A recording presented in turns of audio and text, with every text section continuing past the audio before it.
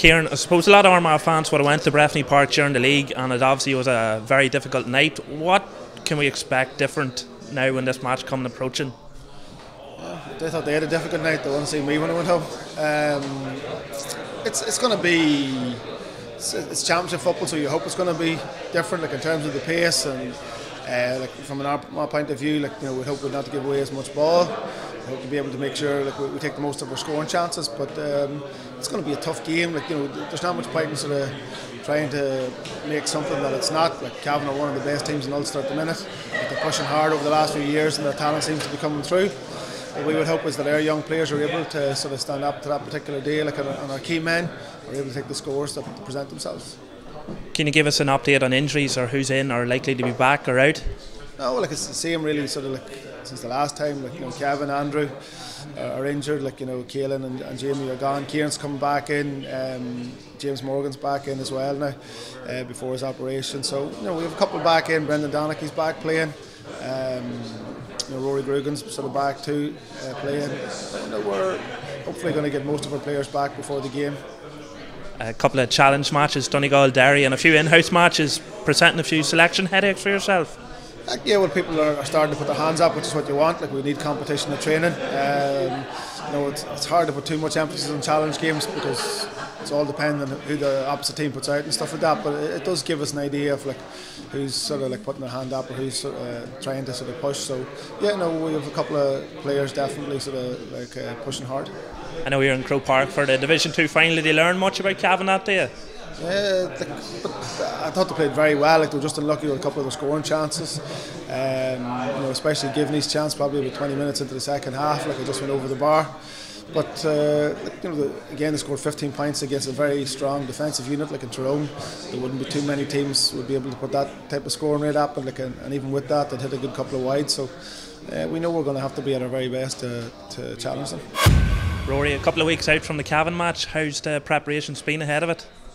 Well, um, since the league, we've had a good long time to prepare. So uh, we've been, you know, played a couple of challenge matches and stuff, trying to get our um, sort of game plan up to scratch and stuff. Obviously, uh, it's a massive game against Cavan, and uh, they're going to be a hard team to beat. So, you know, we've been trying to step it up this last few weeks, and we're just in that last stage now. In the last two weeks, we are just putting the, you're fine tuning the thing really. So, we're happy enough with how it went. You know, so we're looking looking forward to it.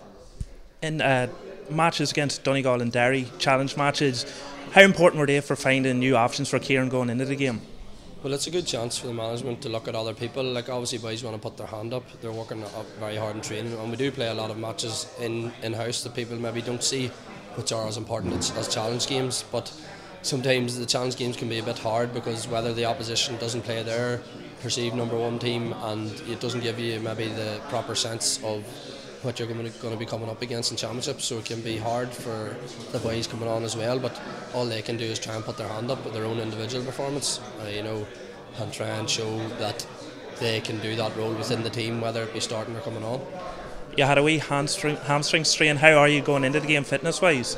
Yeah, well, I'm fully fit again now. Uh, I had that bit of a strain just uh, after the league, so uh, that was a month, five weeks ago. So uh, I've been fit now the last few weeks, so um, hoping it stays that way for the next couple.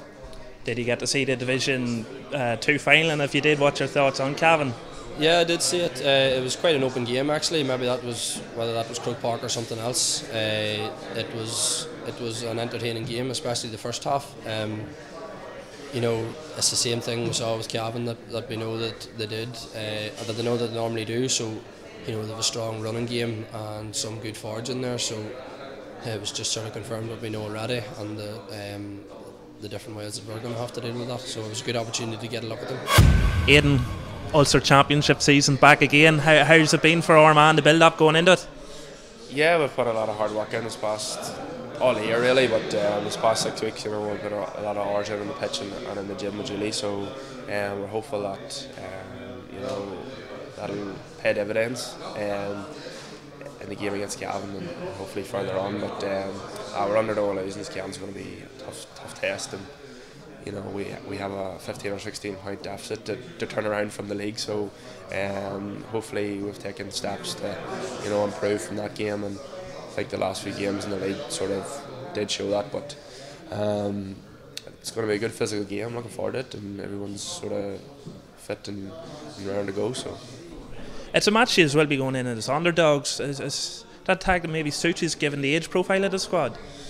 Um, yeah, I suppose it would suit. We, we wouldn't really read too much into that anyway, but um, I suppose we are underdogs with, with going there and, and, and Cavan, you know, showing fairly well um, um, in Division 2. So um, it's a Division 1 team now against a Division 3 team, so we're definitely underdogs, but um, we don't really see it that way. We see it that it's going to be, you know, an equal matchup, and you know, we know if we can produce uh, for the full 70, you know, we, we've shown in patches um, good football, good pieces of play this year, and um, if we can bring that consistency to the game for the whole, we know we'll not be far away and final whistle. I know you were relegated, but those last three league matches, there did seem to be a real upturn in performances. How important was it to get those sort of under the belt heading into this? Yeah, we sat down after the bad Cavan defeat and sort of said that you know it wasn't good enough, and you know we sort of um, you know had a few frank conversations, and um, I think that sort of showed on the pitch where you know there was a sort of a renewed um, you know upswing, I suppose you could say, uh, in performance. So, um, like you could arguably lose that wee bit of momentum that you, you sort of gained in the last three games with the, the long layoff. Um, but um, we're hopeful that we've brought the, the intensity and the, the, quality in training and, and, the in-house games and a couple of challenge games um, that we can bring that into championship day. It's been a big year for you. You've played a lot of football for Armagh, but you've also been captain of the side. How much of an honour has that been for you? Yeah, it's a huge honour to you know um, step in for for Kieran for a wee while. Um, hopefully Kieran's coming back fairly soon. But yeah, it's a it's a great honour to be um, Armagh captain for however long. So um, hopefully it's you know a testament to all the, the work I've done and you know the faith Kieran's put in me. So, um, but know, um, there was no really added pressure or anything. I was just making sure I was doing my job the best I can and um, you know just produce um, for my role um, for the team really.